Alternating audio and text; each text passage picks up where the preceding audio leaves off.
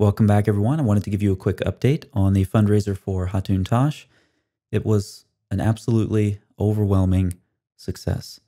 I remember about eight minutes after I made the initial YouTube video public, I refreshed her GoFundMe page.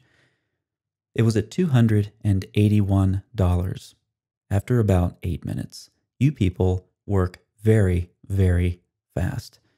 I was stunned. I was sitting here staring at this monitor in disbelief, and my eyes started to water a little bit with the overwhelming, positive, quick, robust response and supporting Hatun.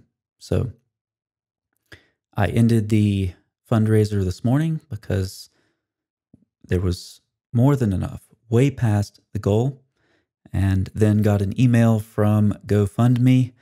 There was an issue, and I thought, oh no, I've never done this before. I've ruined it. The world is ending. The sky is falling. But it was actually just a couple of things that they wanted me to add to the description box. No problem. So I added them. They've looked at everything on their end, and it's good to go. A massive, massive success.